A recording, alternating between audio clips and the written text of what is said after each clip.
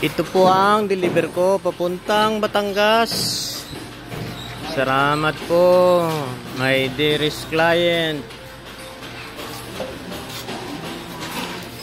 Ayan po siya. Anim na machine. And 6,000 na plate. Oh, wala pa yung D4? Hindi pa nakasakay? Ha? Yung palitan D4? Sila na lang. Doon na lang sa isa. Ah, doon lang sa isa. Bound to Batangas po.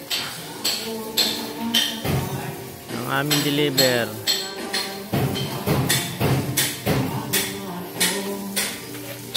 Ano ng pag-ibig ko? Ay, ito, ito, kasama pa. Kasama pa yan eh. Hindi na namin makakasama. Overload. Overload na nga kayo.